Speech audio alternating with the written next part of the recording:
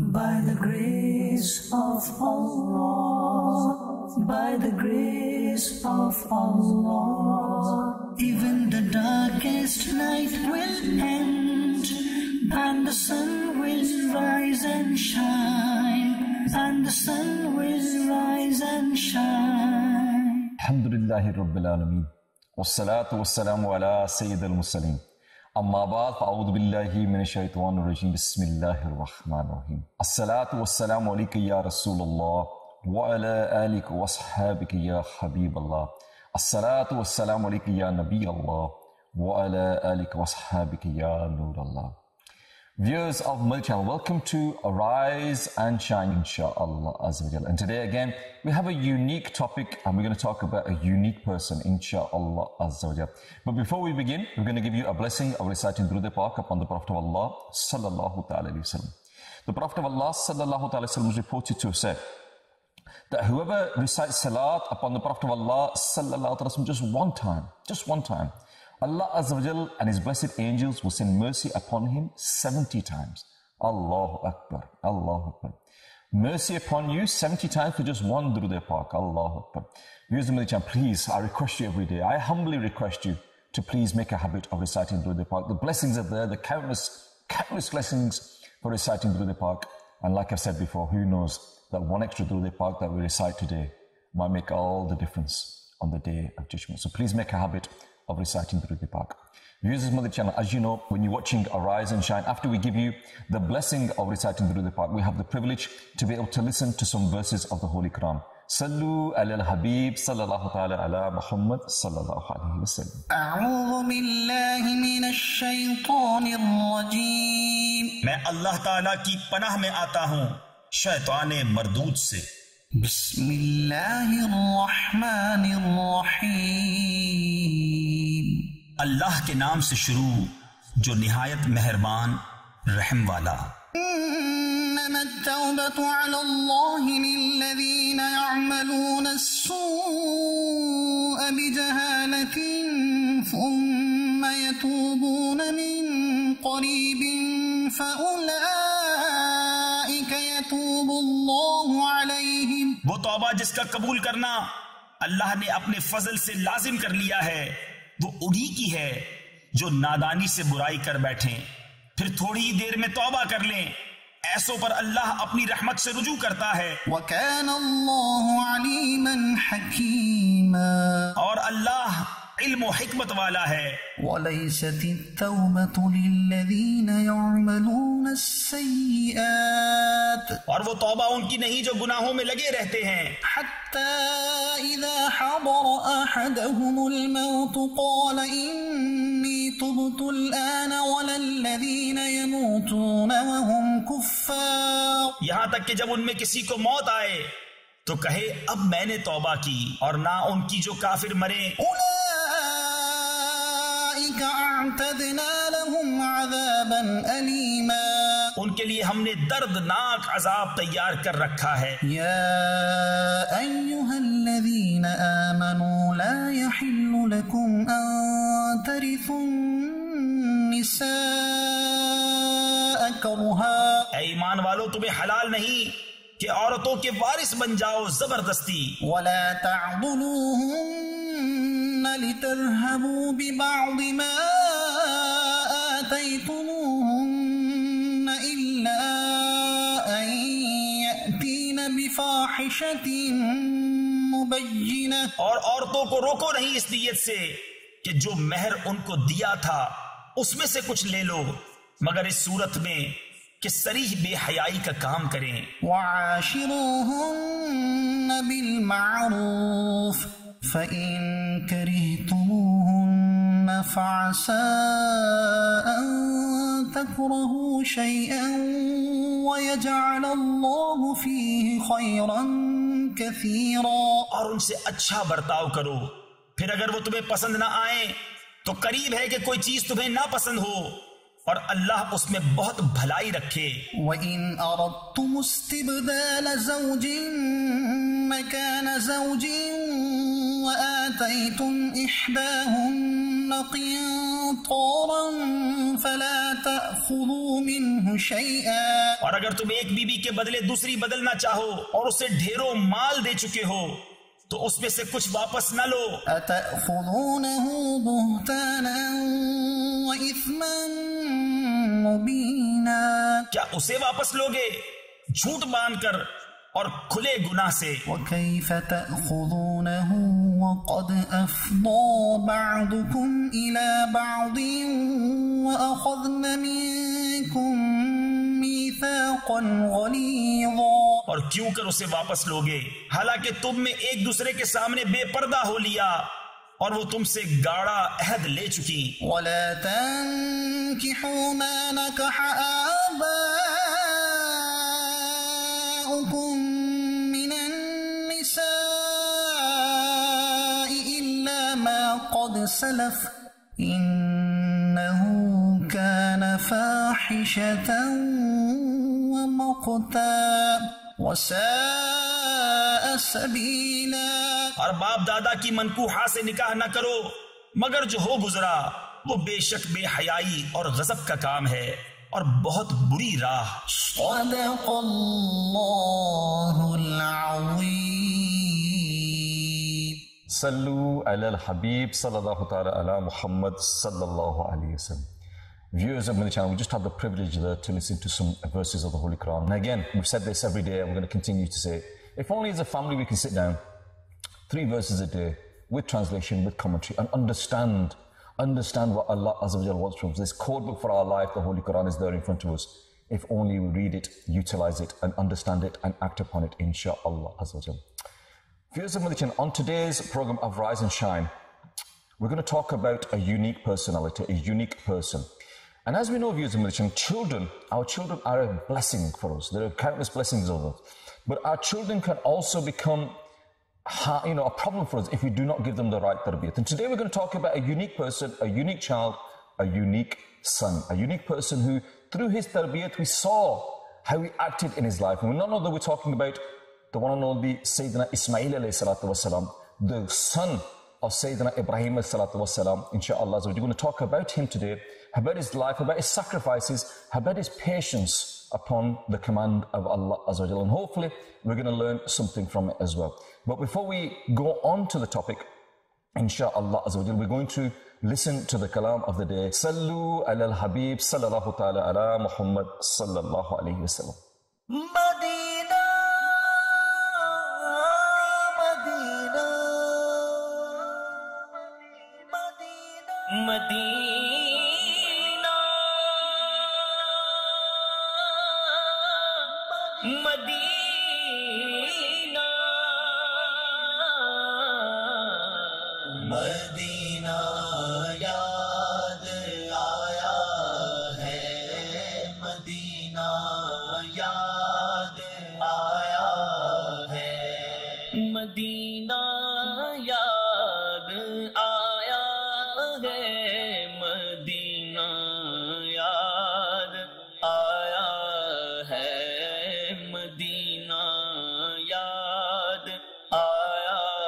ہے۔ مدینہ یاد آیا ہے۔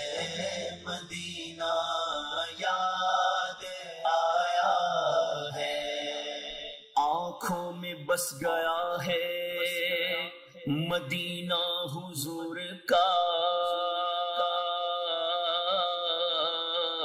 بے کس کا آسرا ہے۔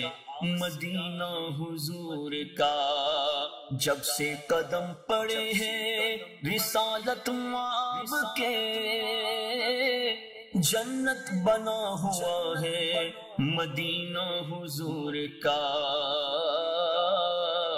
پھر جا رہے ہیں اہل محبت کے قافلے۔ پھر یاد آ رہا ہے مدینہ حضور کا۔ آئی پھر یاد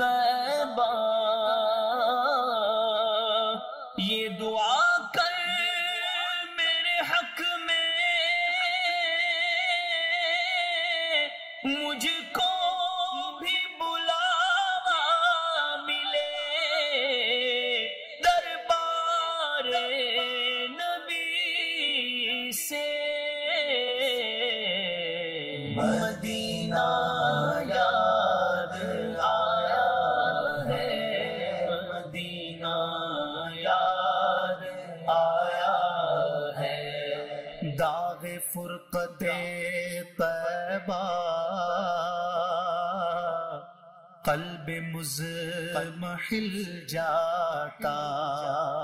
کاش گنبد خزرا دیکھنے کو مل جاتا۔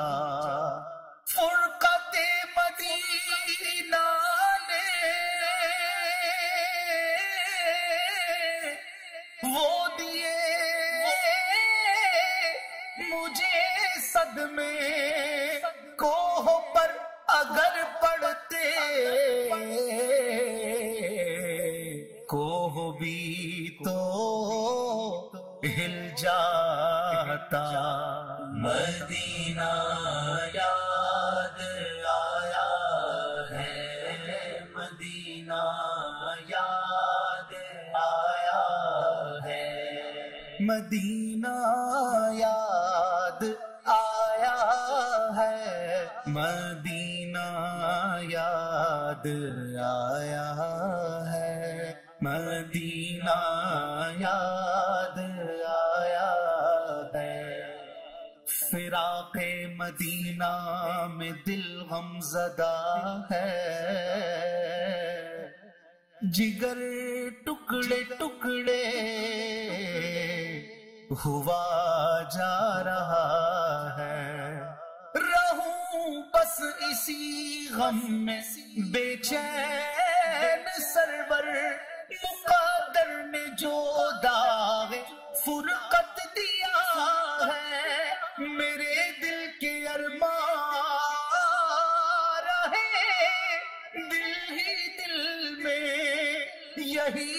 میرے دل کو تڑپا رہا ہے۔ یا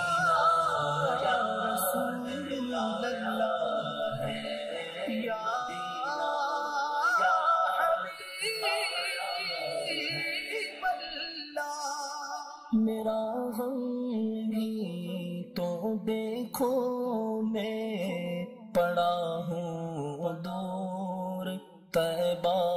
سے یہ میرا ہم بھی تو دیکھو میں پڑا ہوں دور تبا سے سکون پائے گا۔ بس میرا دل مزتر مدینے میں۔ مدینہ۔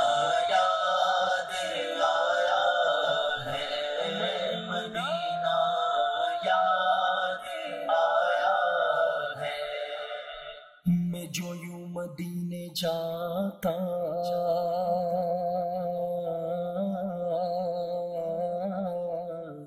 تو کچھ اور بات ہوتی کبھی لوٹ کر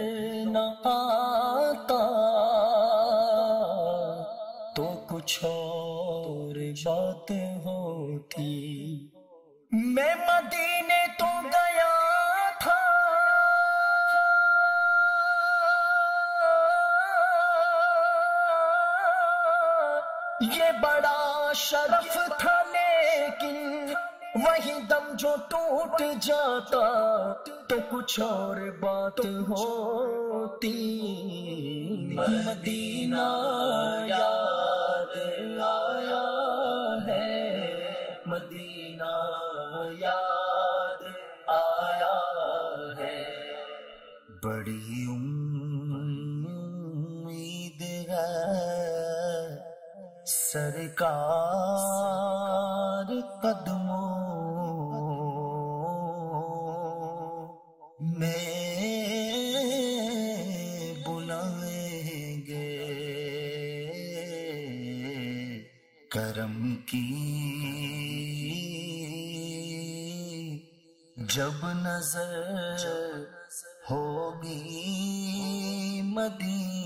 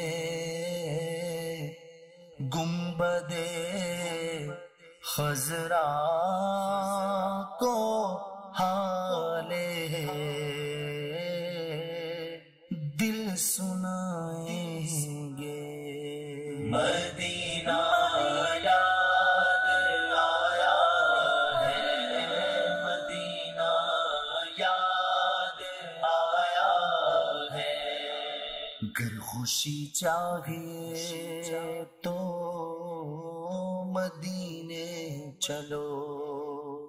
زندگی چاہیے تو مدینے چلو۔ ساری مستی مدینے کی گلیوں میں ہے ساری مستی مدینے۔ گلیوں میں ہے۔ کیف سارے کا سارا مدینے میں ہے۔ دل پہ صدقے کیا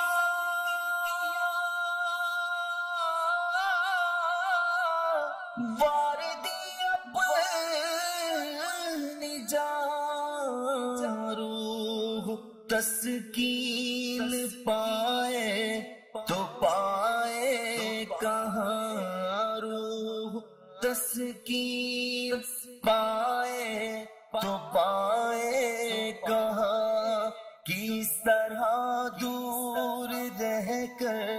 جیے ہم یہاں کس طرح دور رہ کر جیے ہم یہاں جبکہ سب کچھ ہمارا مدینے میں ہے۔ مدینہ یاد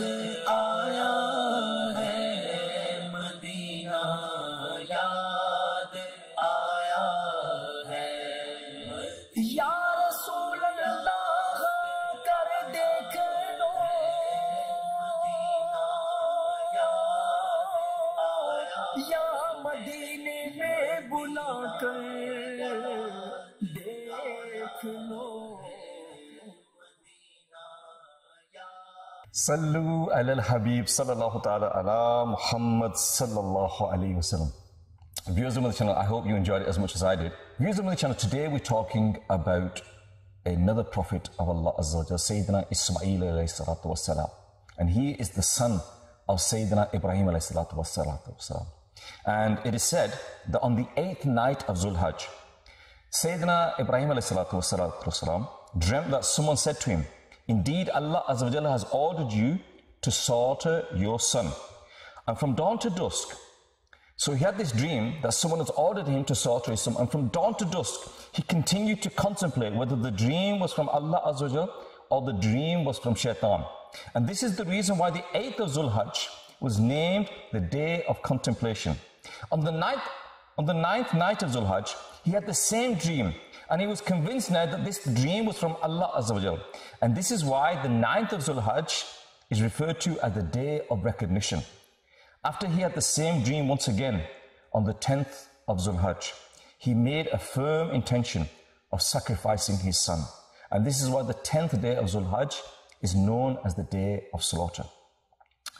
The blessed status of the Prophet of Allah Azza wa Jal is such that they overcame so much difficulty, so much patience, and they overcame all of these difficulties to spread the deen of Islam, to call people to the path of righteousness. They were constantly had struggled through their life, and none of the prophets had an easy life. They all struggled and strived, but they continued on the mission, which was obviously to propagate the deen of Islam, to call people to the path of righteousness. And Sayyidina Ibrahim والسلام, is no different, that he was also tested. And he was tested in this time that now he was told by Allah Azza to sacrifice his only son.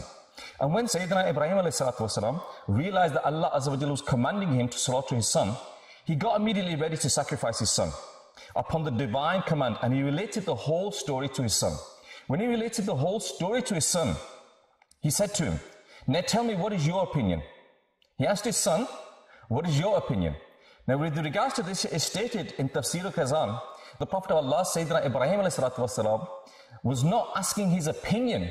He was not asking his opinion. He was actually get, seeing his decision was acceptable by him. He was actually testing his own son as well. And he was also testing him and he was trying to test what his feelings were about this trial. And he also, to, he also wanted to know about the patience and the steadfastness of Sayyidina Ismail والسلام. And in this trial, his obedience to the command of Allah so that he could succeed in attaining the reward. And when Sayyidina Ibrahim والسلام, related this dream to his son, Allah Azza gives the reply in the Quran. The reply is recorded in the Quran in Surah Al Safat, Ayat 102. And Allah Azza says, and I give you the translation from Kanzul Iman. His son said to him, and it's related in the Quran, O my father, do what you are commanded to do. Allah Azza you will soon find me patiently enduring. Allahu Akbar. Allahu Akbar. Just picture the scene that a father has had a dream to sacrifice his son. And on the first day, he thinks about it.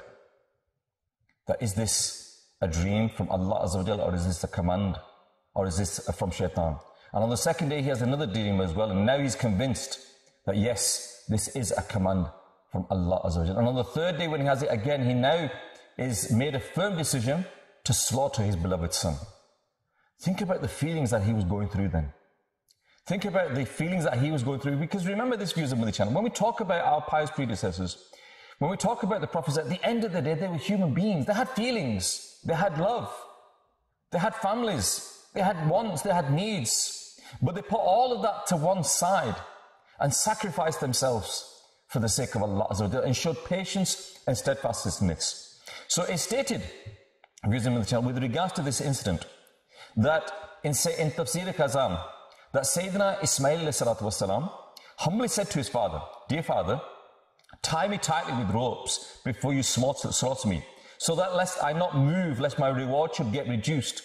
So he said to his father, tighten me up because at that critical moment, if I move about or struggle, I don't want my reward to be reduced. Allahu Akbar. Also, please protect your clothes from my splashes of my blood, because my mother will get grieved if she sees it. Allahu Akbar. Sharpen the knife so that it runs properly over my throat. I, my throat gets cut immediately because death is extremely painful. He knows all these things. Again, he's a human being. He knows that death is painful. Make me lie on my front, placing my forehead over the ground, so that you cannot see my face while slaughtering me. And when you go to my mother, please convey my salam to her. And if you consider it appropriate, so please give my kameez, I long, loose, and flu sleeve shirt that he had on him, and this will comfort her and help her and have patience. Allahu Akbar. Allahu Akbar. His blessed father said, O my son, how helpful you are in carrying out the order of Allah Azza Therefore, Sayyidina Ibrahim والسلام, tied his son as suggested by him, made him lie on his front with his forehead placed over the ground, sharpened his knife, averted his eyes from his face, and ran the knife over his throat. but the knife did not cut, i.e., his throat was not slit. When Sayyidina Ibrahim والسلام, made his son lie on the ground for slaughtering, Sayyidina Jibreel والسلام, came over with a ram from paradise as a fidya by the command of Allah Azza and loudly said, Allahu Akbar, Allahu Akbar. Having heard this voice, Sayyidina Ibrahim والسلام, raised his eyes toward the sky and realized that the time of the trial from Allah Azza had been over and that had a ram had been sent al fidya in the place of his son. And he therefore said delightedly, La ilaha illallah wallahu akbar. When Sayyidina Ismail al-Islam heard this, he said, Allahu akbar walillahi alhamd. Allah. Since then, viewers of Madani channel, Allah, Allah, Allah. Since then, viewers of Madani channel, this sunnah of reciting these blessed words by these three blessed personalities has been going on and will continue until the day of judgment. Allahu Akbar. Allahu Akbar. La ilaha illallah wallahu akbar. Allahu akbar wa lillahi alhamd. Allah. Ah. Allahu akbar. You know, when there are many messages and blessings there for us, that, you know, Allah Azza tests us, and the greatest reward, viewers of Madani Channel, is on the greatest trial. And that's why the pious scholars have said to us that, you know, fasting during the month of Ramadan when it is hot, when there are long days, there are greater reward for that. And here in the UK, we have the extremes. We have the long days during the summer, and we have the short days during the winter. And we have days during the summer where we have 21 hour, maybe even close to 22 hour fasts. And yet during the winter, we have the 10 hour, 12 hour maximum fast as well. And so it is a blessing that if Allah Azza wa you know, you meet you in the month of Ramadan in the hot days. And you know, those people that, you know, I've had the opportunity to go to Pakistan and fast over there. And even though the fasts are shorter over there, I feel that they're a lot harder over there. I find them, to be honest, I find them quite hard over there. But again, if you have this mindset that the harder the fast is, the greater the reward is, then inshallah, you're given patience. And we need to learn this, that whatever the test is, whatever the trial is, whatever the problem we face in this dunya, it is there as a reward for us as well. And I, I said this before that I remember once reading that someone said that I asked Allah Azza for strength and he gave me problems to solve. And at the end, he wrote, when he asked, the, the, the, the writing goes on, continues that I asked for this and I was given this, I was asked for this and I was given this. But the one that I remember was that I asked Allah Azza for strength and he gave me problems to solve. And at the end, he says that, you know, I got nothing what I asked, but I got everything that I needed. And these problems that we have faced, they are there to make us stronger. They are there as a test. They are there to reward us. So whenever a test comes to us, whenever a problem comes to us, then at that time, we should think to us that this is a, is nothing in comparison to the test that others are facing. And again, we should show patience at that time and do shukr in the court of Allah Azza wa And if we show patience at the times of calamity, at the times of problems, then inshallah Azza wa we will be rewarded. Sayyidina Anas radiallahu anhu narrated that the Prophet of Allah sallallahu said, undoubtedly, more reward lies in a tough trial. When Allah Azza wa loves any nation, He makes them suffer a trial. So the one who's pleased with himself for him there is a pleasure, and the one who is displeased for him, there is displeasure. So we should be thankful to Allah. And you know, if we have this mindset that if we're honest with ourselves, have we really been tested? You know, the majority of the people that are watching this program now, you were born as a Muslim. When you were born, the Azan was read into your ears. You were given a Muslim name. You were brought up in a Muslim family. You were sent to madrasa at a young age to learn the Quran, to learn the namaz. And as you grew a little bit older, you started fasting, etc., etc. So, what sacrifices did we make to, and to become Muslims? We made no sacrifices. And if we look at the people of the past, the sacrifices that they made, the struggles that they had, the problems that they faced, so that they could be in the fold of Islam, that they were, they were slaughtered, they were martyred because they said that we are Muslims. That they said, La ilaha illallah Muhammad Rasulullah.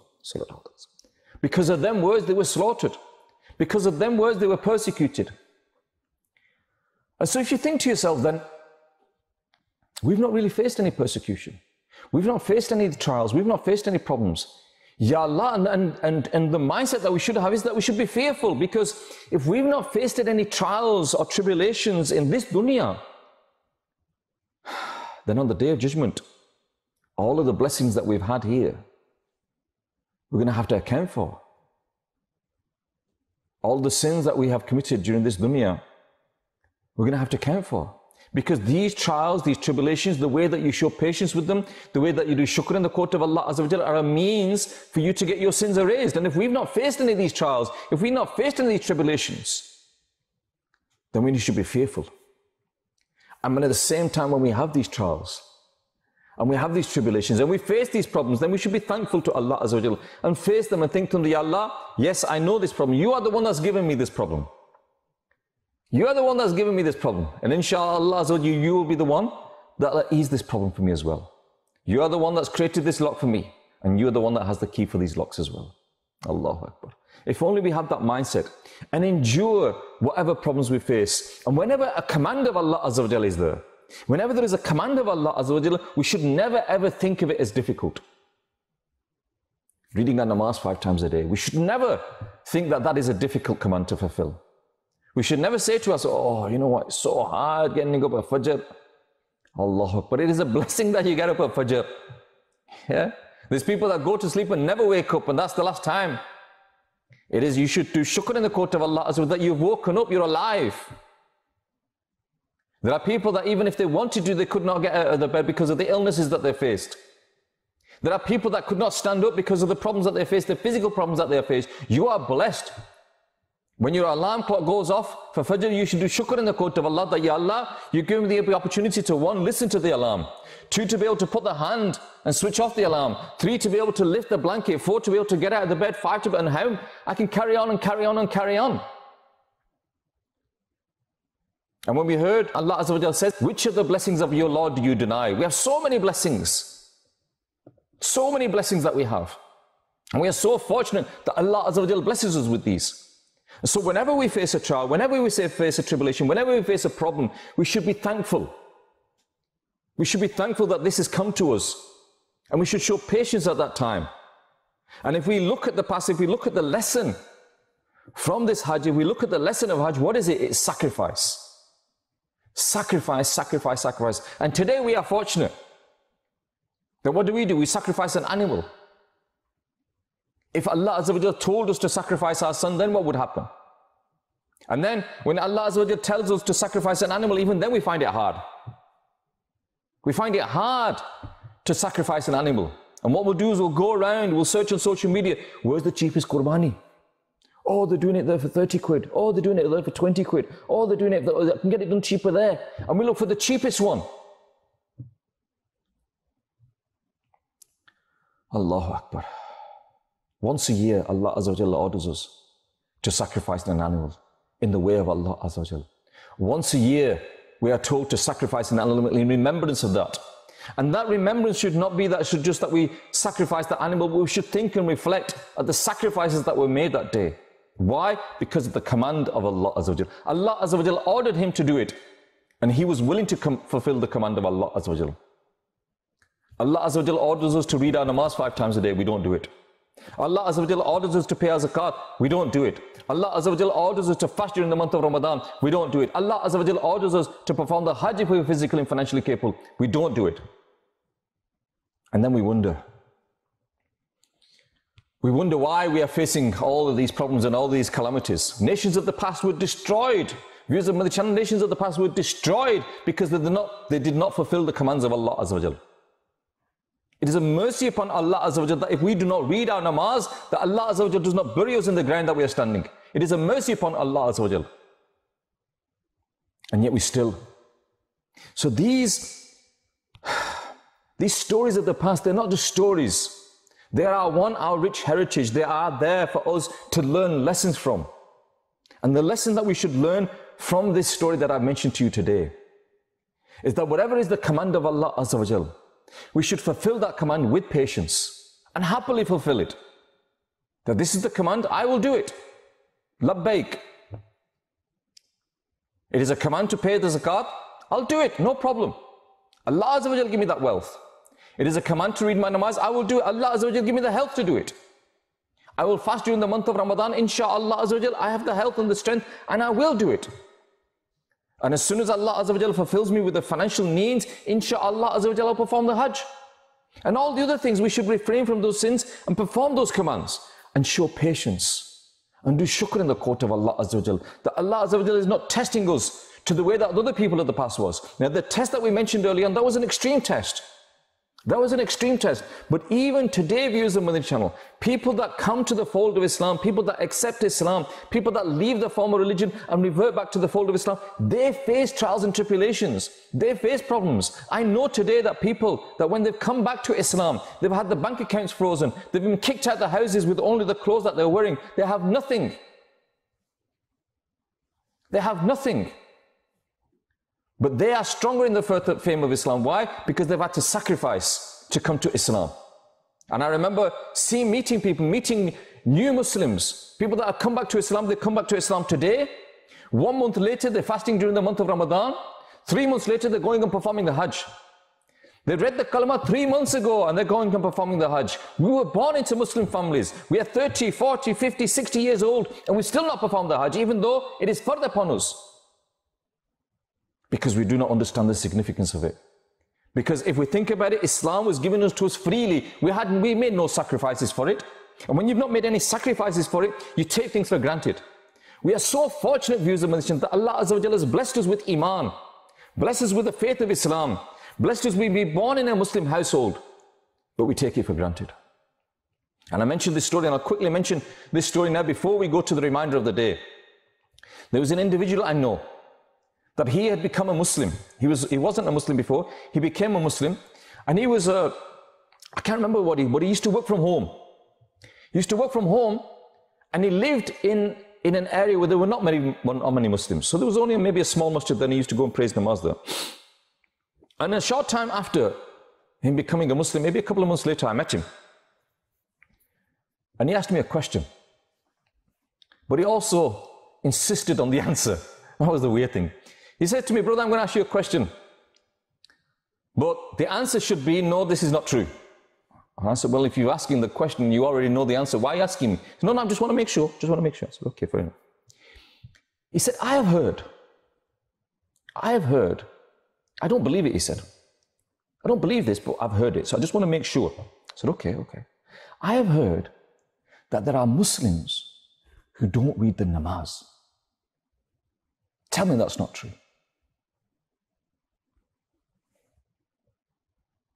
What could I say to him?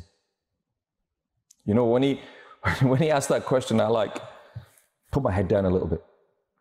And he realized, he realized that I didn't, I wasn't going to give him the answer. He thought that instantly, no, no, no, no, everybody reads in the namaz. Who told you that? But I couldn't say that to him. And as soon as I put my head down, he realized that these whispers that he'd heard, these stories that he'd heard, they were true. And his reaction, he was shocked. He was shocked to hear that there are Muslims out there who do not read the namaz. How can you, how can you be a Muslim, he said, and not read your namaz? Again, no answer from me. I can't answer that. How is it possible, he said, that people say they are Muslims, they, they look like Muslims, they dress like Muslims, and they don't read the namaz? How is that possible?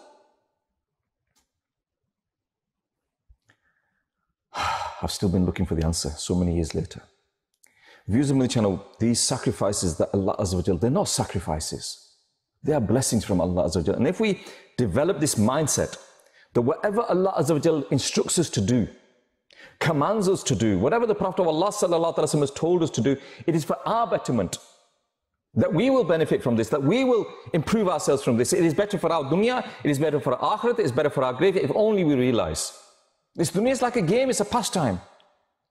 And I remember someone once saying that you know, this, this dunya, when you're in this dunya and you, you watch a game, you watch a sport, and your emotions are up and down, and you're angry and you're sad as your players are doing well, and everything happens, and then as the final whistle's blown at the end of the game, or the, the minutes are over, or the last wicket goes, or whatever it is, you take a deep breath, and you go back to your normal world. This dunya is like this.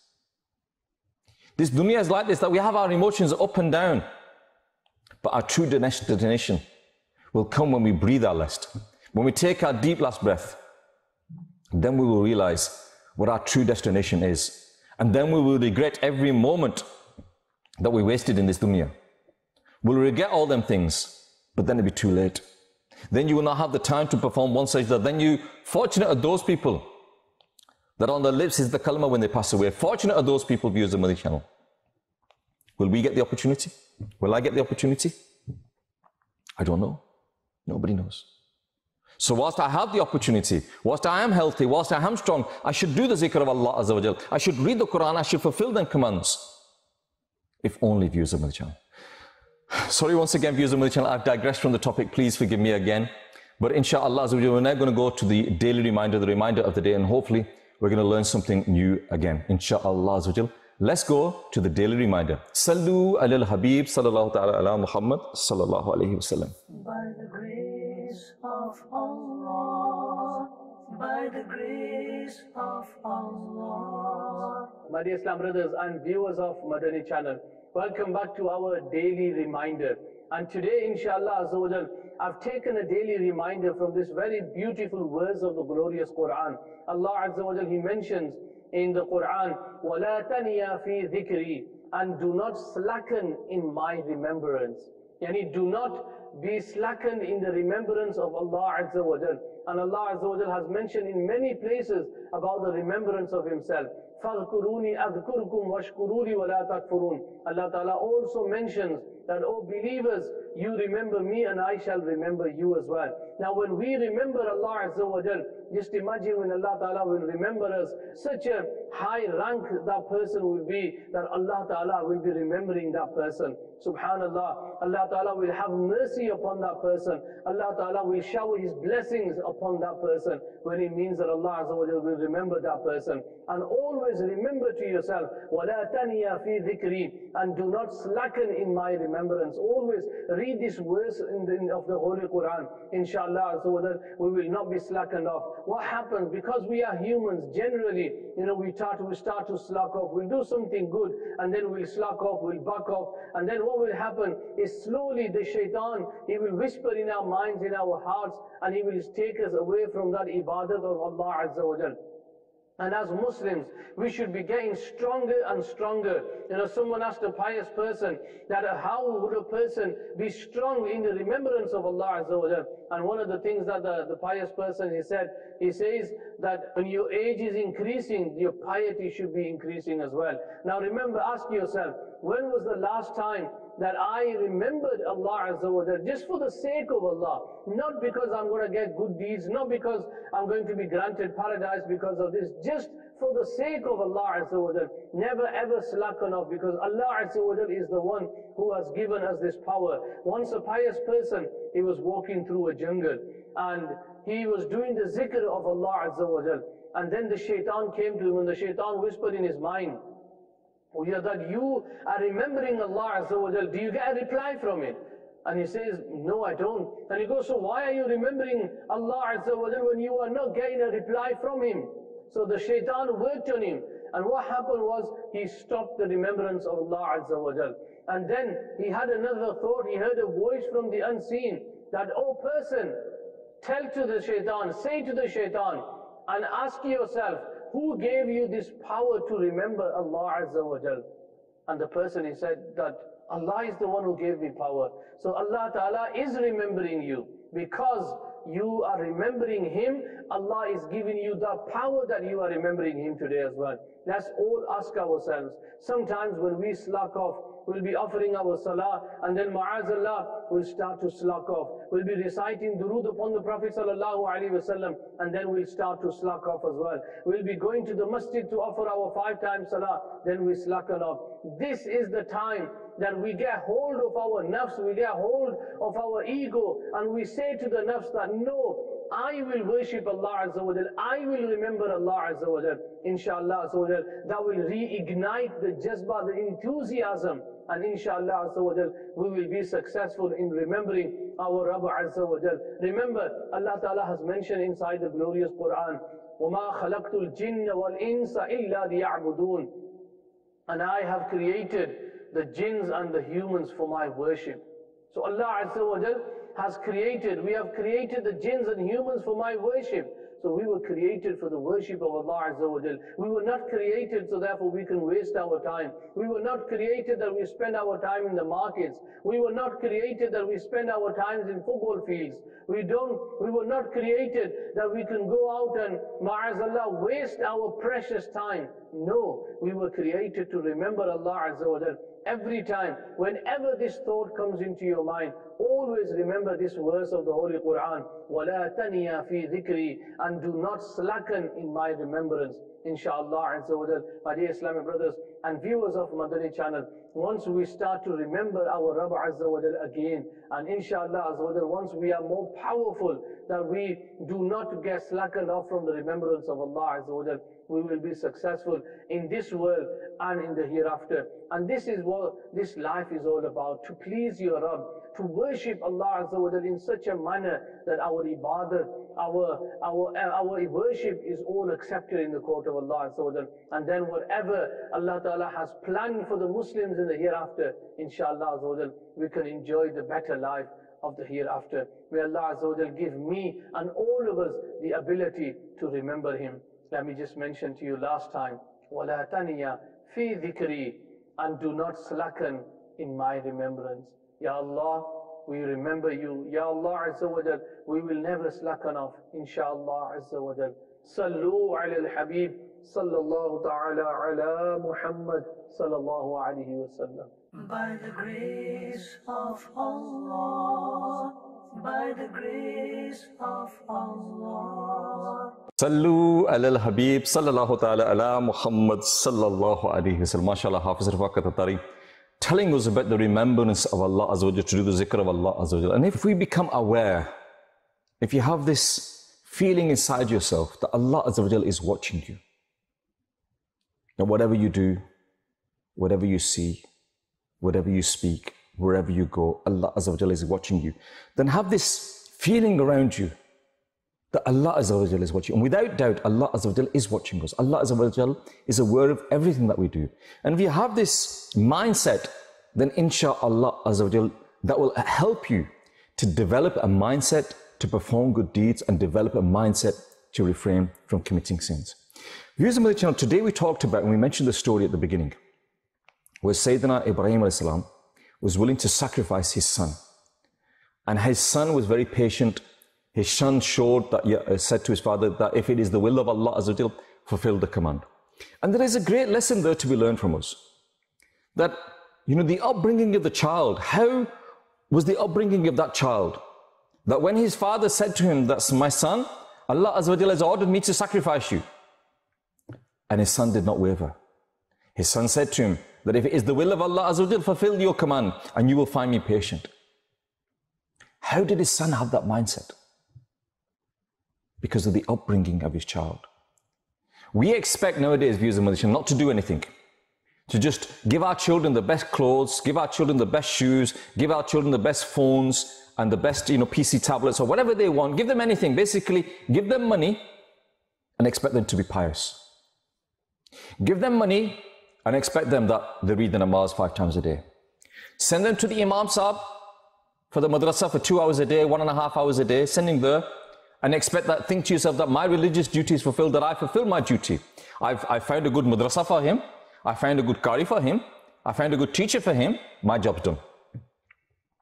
And then, when that same child grows up and he's disobedient, he does not follow the commands of Allah When you grow old, he doesn't look after you and you think, what have I done wrong? The tarbiyat of our children, viewers on the channel, is very, very, very important that from a young age we need to think about how we're bringing up our children. And what happens is, is normally we think about these problems, with, well, we think about it too late. So many times I've had a phone call, brother, can you help us?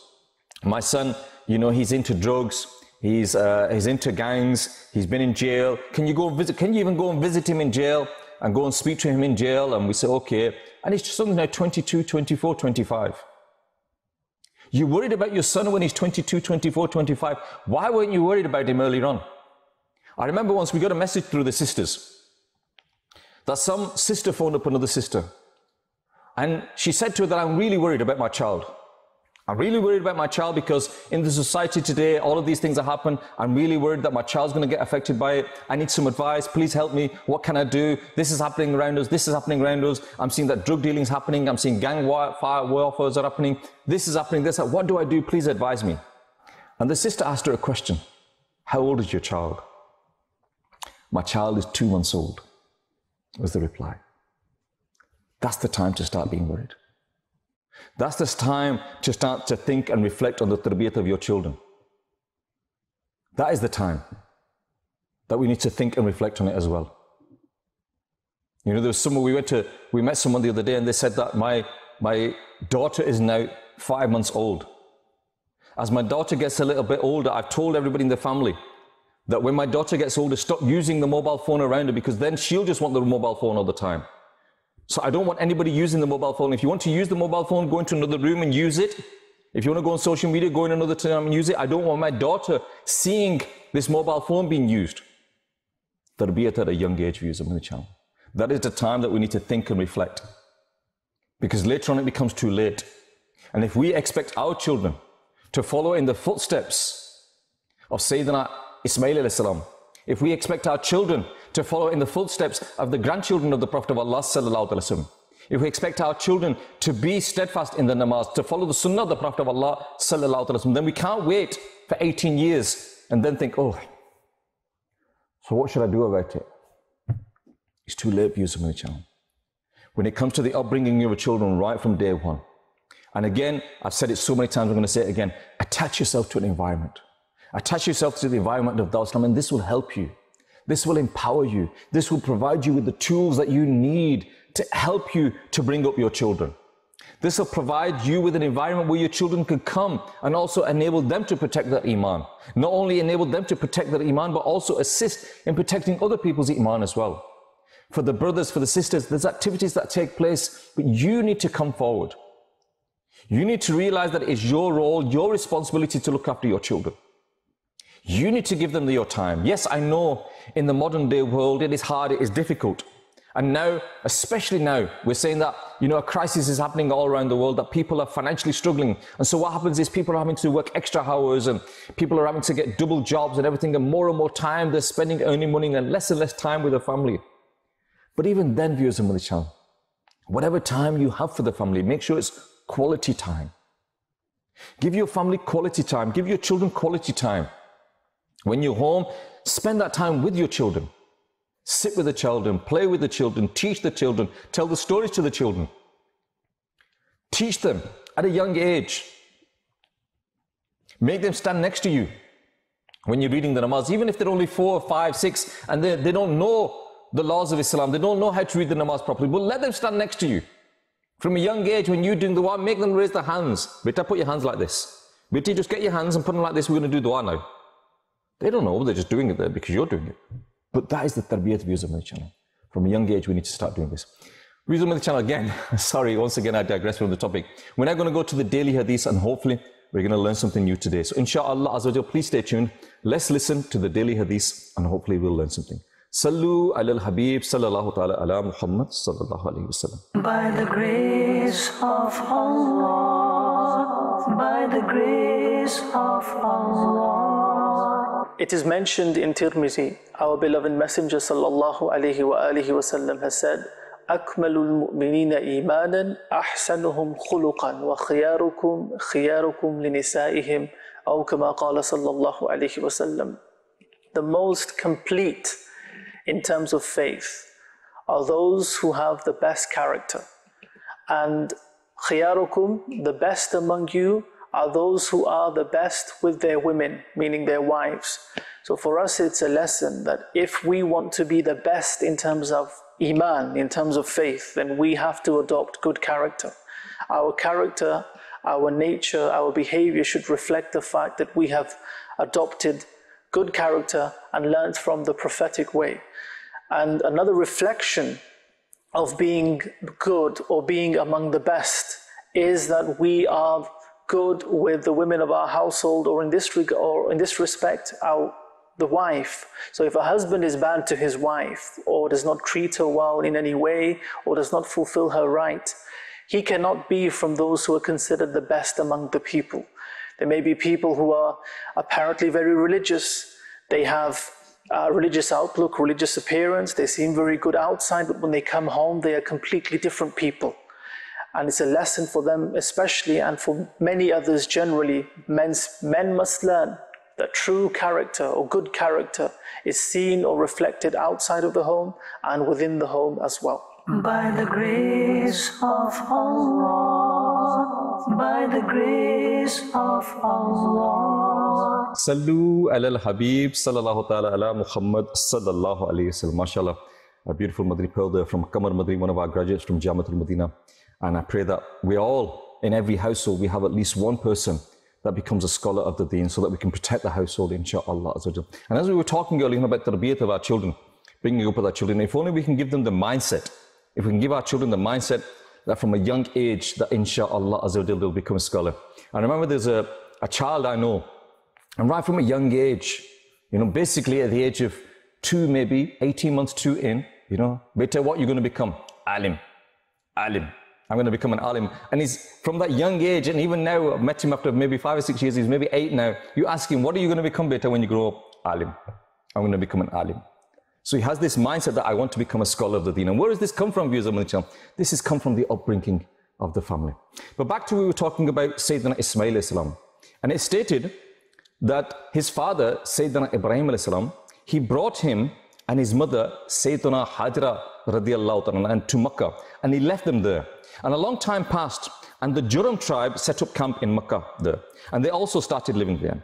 And during this time, Sayyidina Ismail Islam, he grew up and he became a young man, alhamdulillah. And he also married one of the women belonging to that tribe.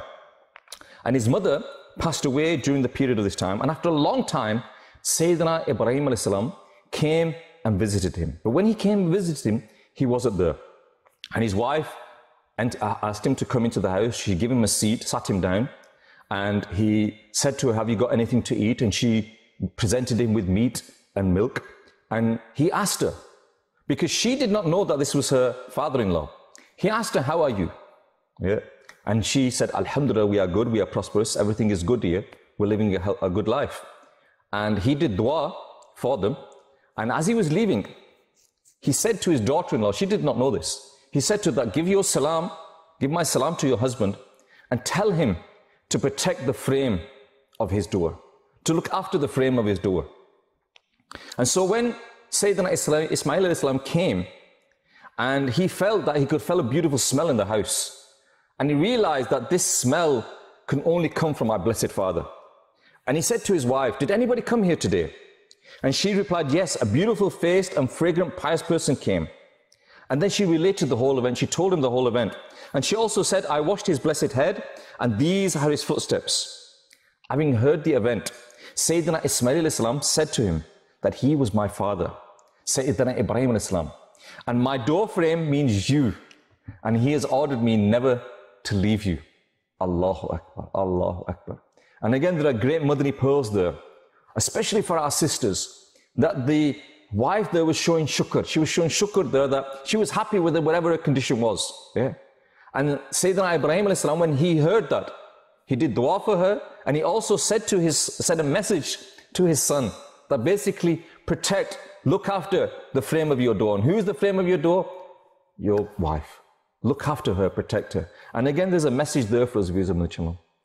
That one, we need to show shukr in the court of Allah. And our sisters as well, you know, they can make, you know, again, I don't like saying things like this, but our sisters, they can make or break a family. They can make or break a husband. They can make him happy or make him sad. They can put so much pressure on him. And we've heard in previous episodes where we are told that there'll be certain individuals, they'll be destroyed. They'll be destroyed because of their families. And how will they be destroyed because of the families? Because the families will make them, you know, they'll put pressure on them that I want this, I want that, I want a seven seater car, I want a semi detached house, I want a diamond ring, I want a platinum ring, I want a gold set, I want this, I want that. And so this pressure, what happens is, is because the, the husband cannot fulfill this, he then goes to places of disgrace to earn that money so that he can please his family. And ultimately, that person is disgraced. So again, in, there's a message there for us viewers of the channel that we need to do shukr. That whatever Allah Azza wa has put us in, we need to be pleased with that. And for our sisters, that whatever is your lot, Whatever your condition is, whatever your position is, then you should need to be thankful in the court of Allah Azza wa And also think to yourself that look, there are people a lot worse off than me. Yeah, I only might live in a small house or one room place. I might not have a garden. I might not have a proper house, but I'm better than a lot of people. Yeah. I might not be able to eat out every day, but at least I'm eating every day. My husband never buys me any gifts. He can't do anything, but at least we're surviving and we are a happy family. Yeah. I can't go on holiday. I can't go here and there, but at least I have my family. What a blessing that is. And if only we realize and, and focus on the blessings that we have.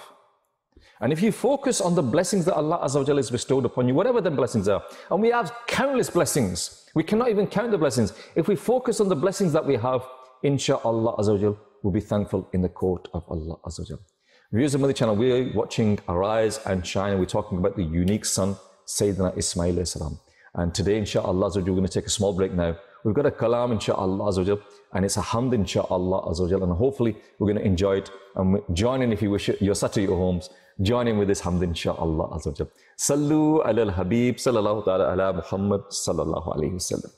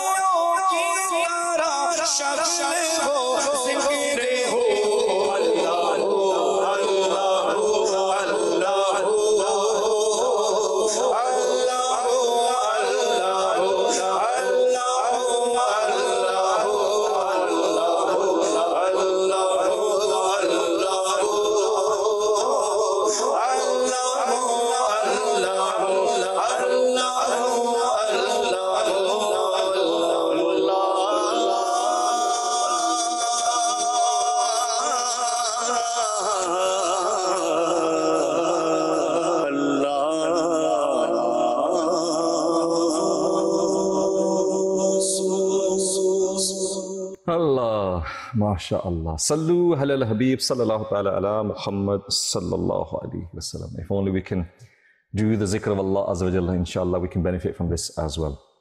Allah, Allah, Allah. Talking about Sayyidina Ismail salam. And he also has countless blessings. And it said that he's mentioned in many places in the Holy Quran. And he was the one that helped him building the blessed Kaaba, alhamdulillah. And he is the founder of Makkatul Mukarramah. Sayyidina Ibrahim alayhi salam, he left, he left his father, he left his son there in, in Makkah Sharif. And he is also the founder of Abu Zamzam. Sayyidina Ismail alayhi salam, his feet rubbed the ground, and as a result of that, the well of Zamzam came up. And this is a miracle. The miracle of Zamzam is a miracle such that the water of Zamzam will continue from then until the day of judgment. And even now, people go there, millions of people go on the Hajj and they fill it with the Zamzam, they bring it home, and people all around the world are drinking from this well of Zamzam. And there are two miracles we use on the channel that will continue into the day of judgment. Number one is the miracle of Zamzam, and the second is the religion of the beloved Rasul sallallahu alaihi wasallam. I, the Holy Quran, the blessed the Hadith, and the laws and acts of worship. If only we realize this. And this Zamzam water, viewers of the channel, is such a blessing for us. If only we realize the Zamzam water is such that if you only have Zamzam water, if you only drink Zamzam water, you do not need any other food. All the nutrients that you need, everything that you need for your body to survive, is found in the Zamzam water. And you know, many, many people, scientists have sat down and they looked at the water and looked at the pH levels and they looked at the nitrates that are in there, the sulfates that are in there, the minerals that are there, and the benefits are there for us. And without doubt, viewers of Channel, there are great benefits in you know drinking this Zamzam water. The Prophet of Allah says that Zamzam water is sufficient for whatever purpose of the world and the hereafter it is drunk. And people have said that, viewers of Channel, that when you drink Zamzam water, whatever your intention is, inshallah Azza wa Jal, your intention will be fulfilled. So if your intention is that I'm drinking this Zamzam water because I'm thirsty and I want to quench my thirst, then inshallah Azza wa Jal, your thirst will be quenched. But ya Allah, I'm drinking this water because I want this water to be a cure for my illnesses. Inshallah Azza wa Jal, your illnesses will be cured. Ya Allah, I want to drink this water because I believe that this water will, inshallah Azza wa Jal, be a cure for my sins that I have committed. Insha'Allah Azza wa Jal, if your intention is pure, then Allah will reward you as such. So whenever you have the opportunity to drink Zamzam water, don't just pick it up and drink it. Make good intentions. That Allah, I pray that this water enables me to protect my iman. It is a cure for all the illnesses, the physical illnesses that I have. Ya Allah is a cure for all the spiritual businesses that I have. Ya Allah Azza wa Jal, it is a cure for all the diseases of the heart I have. Ya Allah Azza wa Jal, make it a means for salvation for me on the day of judgment and drink it. And insha'Allah Azza wa Jal, if we have the sincere intentions, then insha'Allah Azza wa Jal will be rewarded from it. In another hadith, the Prophet of Allah said, drinking Zamzam water to one's fill gets rid of hypocrisy. If we drink Zamzam water, then I'll get rid of hypocrisy. You know, as I was reading that, I was thinking to myself that even in the blessed city of Makkah, in the blessed city of Medina, you see people there drinking fizzy drinks, drinking juices. And you're thinking to yourself, how unfortunate these people are. That Allah Azza has blessed you with an opportunity to drink Zamzam in abundance. Morning, noon, and night, all day long, you can drink Zamzam non-stop. And you're getting fizzy drinks. You're getting juices. And you're not drinking the blessed water of Zamzam. Allahu Akbar. Those fortunate people that you're not there. You know, this is the, the sign of, you know, it's, it's like one of those unfortunate people that the blessing's there, but you can't get there. In the same way that we say to you know, that you know, that we say that you can take a horse to water, but you cannot make him drink it. You've been take, you've been took to the city of Medina. You're blessed with the city of Medina, and yet you're still not drinking the Zamzam water. How unfortunate is this on this channel? Unfortunate are those people that get the blessings of this Zamzam water. And you know, this is another, it's a sign of Allah Azza wa Jal. The Zamzam water is a sign of Allah Azza wa Jal. That Sayyidina Ismail his feet touched that ground. And as a result of that ground, the Zamzam water came out. So that ground becomes blessed where his feet touched and the water comes up. This mother, the mother of him, she was running from the hills of Safa and Marwa. She was there looking, searching for water for her child that was thirsty. And to this day, them hills become a, a place of mercy for us, that we go and visit them places and we go between them places. You know, when when anything basically that the feet, the feet of the blessed people of the past touched, becomes blessed for us. Sayyidina Ismail Islam, the ground that he touched where the Zamzam came, that has become blessed for us. His mother going from the hills backwards and forwards, Safa Marwa, that has become from us, blessed for us. And all these places, Sayyidina Musa Islam, when he went on the on the mountain, that place has become blessed from us. All of these places become blessed for us where these prophets and where these pious predecessors have been.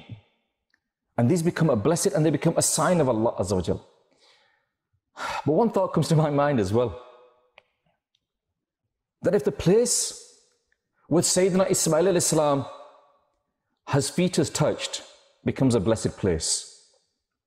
Where if the place where the mother of Sayyidina Ismail Islam ran between the hills of Safa Marwa in search of water becomes a blessed place because the blessed feet touch the ground.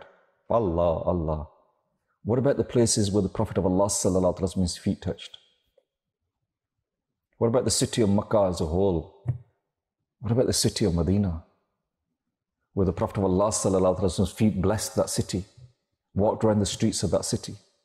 What about the resting place in the city of Medina, where the Prophet of Allah is resting? What are, you know, if these places are blessed, then what about the places where the Prophet of Allah went to? What about the places like Badr or Uhud, where the Prophet of Allah stood in the battlefield? What about the caves where the Prophet of Allah went up to? What about the journey on foot between Makkah and Medina where the Prophet of Allah made? What about that journey where the Prophet of Allah went to Taif? What about all these places? I remember recently learning, reading a book where somebody had traced the footsteps of the Prophet of Allah and he made a map of everywhere the Prophet of Allah had been. Even before he declared Prophet, when he was uh, a businessman and he would travel and selling goods, all the places where the Prophet of Allah had been. And he made an intention that he's going to make every, he's going to follow the footsteps of the Prophet of Allah and go in all of them places. Allah Akbar. Views of the chance, something that again, you know, when you go to, when you're blessed with going to Makkah and blessed with going to Medina, if we can have the right mindset, that we are going on these places. You know, when you when you're going around the Kaaba now, even though there are marble tiles, and it's not the same dirt, it's not the same soil that the Prophet of Allah may be touched. It's not the same soil that the companions of the Prophet of Allah When you're going around the Kaaba, think to yourself, you know, there are millions of pious people in this dunya right now. All of the pious scholars, all of the great scholars of our time, all of the walis of Allah that are open and those that are hidden, that have come here. Allah, I'm blessed. I'm blessed that I'm walking in their footsteps. That when you're walking around there, you're looking at the ground and you think to yourself that, Ya Allah, I'm blessed that I'm walking in these same places where these great people have been. That I'm walking in these footsteps. How fortunate I am. You know, Ya Allah, I don't deserve it. I don't deserve it. And Ya Allah, you bless me that I'm walking in these footsteps. When you go into Safa Marwa, when you go into Maqam Ibrahim and you think to yourself, how many pious people's heads have touched this ground here and done sajda here? And now I am blessed. Allah is blessing me with an opportunity to put my head on the same portion of ground where such pious people have been. When you're going through Safa Marwa, when you go into Mina, when you go to Muzdalfa, when you go to Arafat, when you're going on this journey, think to yourself, all the pious people that have made the same journey. And if you are blessed to go on the Umrah or on the Hajj, think to yourself that even right now, right now, I don't know who they are. I don't know who these people are. But the pious people have been here. And we saw early on, we saw the visuals of Amir al-Sunnah when he was performing the Hajj. If we have this mindset that these footsteps, these streets, these places, Amir al-Sunnah was here. Allahu Akbar. Allahu Akbar. Amir al-Sunnah blessed us with this. And you know, I've said this before, viewers of channel. You know, the status, the status of Amir al-Sunnah, we, we don't, again, we will not appreciate the status of Amir al-Sunnah. In a hundred years' time, in 200 years' time, in 300 years' time, when people write about the history of Islam and they write about this time in Islam, when they write about the 20th century and they write about the 21st century, they will write about the great personality of Amir al-Sunnah. And they will talk about those fortunate people, viewers of the channel, that were blessed to be able to go and perform the Hajj with him. They will talk about those famous persons, those fortunate personalities, viewers of the channel, that were able to go and sit with Amir al-Sunnah, that were able to sit in his court and listen to him directly. You know, nowadays we hear about Ghaus Pak, we hear about, we read the stories of Ghaus Pak, of how he used to teach people and how many, many people used to come. We talk about all about these things. But in the future views of channel, people will talk about those people. And people will wish that they could be those people that had the fortunate ability to be able to sit in the court of Amir al-Sunnah, to listen to Amir al-Sunnah. Allahu Akbar. Views of channel, we have this opportunity. We have this opportunity to be in the history books effectively to be in the history books effectively where we can sit and listen to the blessed words of Amir and learn from him. Without doubt, a wali of his time views the channel. And if we do not take benefit from him, then one day we will regret it, views the channel. Time is passing. Time is passing. And everybody has to taste death. Amir Sunnat is with us at the moment. We have this great opportunity to take the great blessings from him. And I would strongly advise everybody that if you can, if you can, then at least once go and sit in Faizan-e-Madina when Amir Sunnat is there. When the Madani Muzakra is taking place on a Saturday night, sit there in that. Even if you cannot see him clearly, be amongst those people, be in that atmosphere. And if you cannot do that, then at least sit in your homes. Sit in your homes and watch Amir Sunnat, take the blessings from him. Because a time will come, viewers of channel. Every soul has to taste death. A time will come and that time will come when we will regret it that if only I'd spent more time, if only I'd spent more time in his company, if only I'd learnt more from him, if only I'd listened at that time and learned. I had an opportunity to be amongst those pious people that sat with him. I had an opportunity amongst those pious people to travel with him. Allahu Akbar. And I pray, Ya Allah, I pray that the doors of Hajj are opened. And I pray, Ya Allah, Azza that Amir Sunnat is given health, that he can perform the Hajj again. And I pray, Ya Allah, that I am blessed amongst those people. And you are all blessed amongst those people that can perform the Hajj with Amir Sunnat. And you know, the visuals, maybe the visuals are on the screen right now, and it's something that, you know, we close our eyes and it's only something that we can imagine. Imagine and think about those fortunate people that were there that made that journey with him, that took the blessings from him. Because without doubt, you know, when you go there, because Hajj is something that you perform only once in your life or a couple of times in your life, or if not, at least it, even if you go on Hajj every year, it's something that you only perform once a year. But the, you know, your namaz, if, if we're reading our namaz five times a day and we're not got that perfect, then how are we going to do our Hajj perfect? And those fortunate people that were able to travel with him, sit with him, even when the rituals of Hajj were not being performed, just to be sitting in the company of Amir Sunnat, listening to him, learning from him, even just sitting there and eating with him, being blessed with sehri with him, being blessed with iftari with him, even being blessed that you're reading the namaz with him, reading the namaz behind him, doing ameen to his du'as. Allahu Akbar. How fortunate those people are, viewers of the channel. And like I said, I pray, do pray for me. pray for me, viewers of channel, that I'm blessed with an opportunity to go and perform the Hajj with the Amir Sunnat. And I pray that all of the followers, all of the people that are actively involved and working day and night, putting that time and hours in, working day and night for the deen, working for Dawat Islami, be you the brothers or the sisters, we are all blessed with an opportunity of going on Hajj with the Amir Sunnat. And I pray that Allah Azza that when that day comes, that our Hajj is accepted.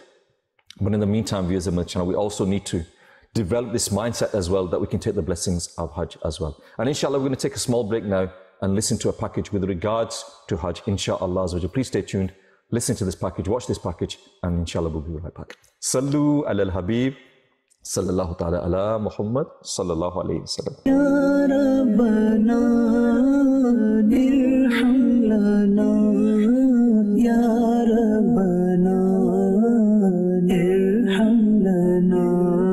Dear respected viewers, there is beautiful account, uh, a heart-touching account, to be honest with you. I would like to say this, that Hazrat Sayyidina Malik bin Dinar, rahmatullahi ta'ala alayh, he quotes that, that uh, a pious individual says that continuously I was getting the privilege to uh, perform Hajj. Every year I would see a pious person who would hold the door of Kaaba Ka'batullah Sharif and he would say, Labbaik, Allahumma labbaik, Labbaik, Allahumma labbaik. He would recite this. And when he would say, Labbaik, Allahumma labbaik, a voice from unseen was heard, La labbaik. Allahu Akbar, Allahu Akbar. And he says, for 14 years, that person says, that voice was heard. I asked that individual, that pious person, that are you deaf? Can you not hear? Allahu Akbar. He said, Yes, I'm hearing everything. I can listen. Then he asked, Why do you come again and again? From last consecutive 14 years, you have been coming to this journey and you say, Labbaik Allahumma labbaik, and answer is La labbaik, yet you're coming back. Now listen the answer, that dervish. Listen the answer of that pious individual. He said, Oh Shaykh, I take a note. Instead of 14 years, if I live for 14,000 years, and instead of once in a year, I hear the same thing every year, thousand times, La labbaik, yet I will not leave coming in the court of Allah ta'ala. Rahmatullahi ta'ala says, he had just said this, and we were just busy in talking. We said that a piece of paper came on the ground and it was written on it, O Malik bin Dinar, do you separate my bondman from me? And you say that I have not accepted many of his Hajj? No, it's not like that. During this time, all the people who have come and performed Hajj, I have accepted their Hajj through the blessing of this person's Hajj. Allahu Akbar. Allahu Akbar. Dear respected viewers of Madani channel, look at the faith of that individual.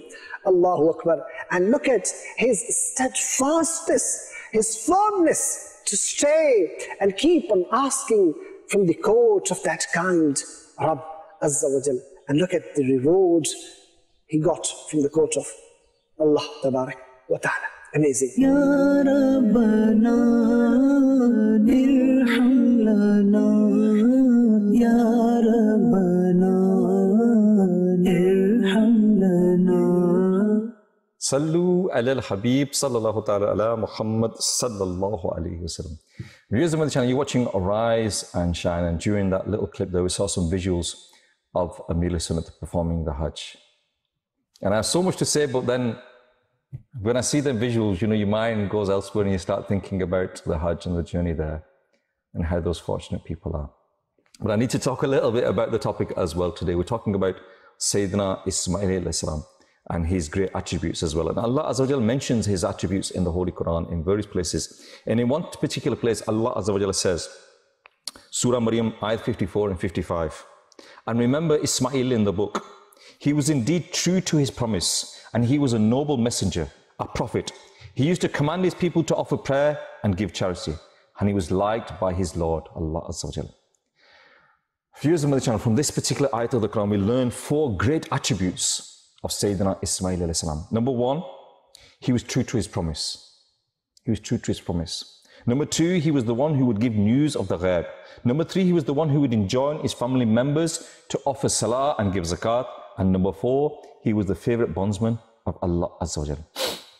And we learn from this, views of Munchal, giving a promise, keeping a promise, making sure that we don't break a promise as well, was one of the great attributes of him. And Allah Azza wa says in the Quran, in Surah Al-Ma'idah, ayat number one, O people who believe, fulfill your words. Fulfill your words. In another ayat of the Quran, Allah Azza says, Surah Bani Israel, ayat 34, Indeed, the promise will be asked about. So again, it's something that we, an attribute that is an attribute of the prophets, but it's an attribute that we also need to have, views of that we don't break our promises, we fulfill our promises. The Prophet of Allah said that the Muslim who breaks an agreement and a promise incurs the curse of Allah The angels and all humans and neither any of his fard obligatory or nafil act will be accepted. If we break our promises, then we are told here our fard and our nafil will not be uh, accepted by Allah Azza and we will incur the curse of Allah Azza So again, you know when we hear the stories of these people, we hold the stories of our pious predecessors. We hear the stories of the companions of the Prophet of Allah. Sallallahu When we hear the stories of the prophets, when we hear the stories of the Prophet of Allah, then again learn from it. And here we learn that never break a promise. Fulfill your promises. Make sure that you don't break your promises. We're going to quickly now go to another kalam. I was told that we've got a beautiful kalam. So I decided that I didn't really want to talk a lot. And I said, let's go straight to the kalam because I want to listen to this kalam myself. But they said, no, no, no, carry on with the topic a little bit longer and then we can let you listen to the kalam. So I want to listen to this particular kalam and I hope you will enjoy it as much as I will do. So let's go to another kalam. Sallu ala al-Habib sallallahu ta'ala ala Muhammad sallallahu alayhi wa sallam.